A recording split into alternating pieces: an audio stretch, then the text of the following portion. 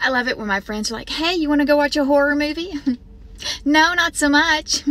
No, thank you. I've had enough of the real deal. I'm not trying to watch somebody pretend. Not me. No, I'm good. I don't. Ever. it's PTSD.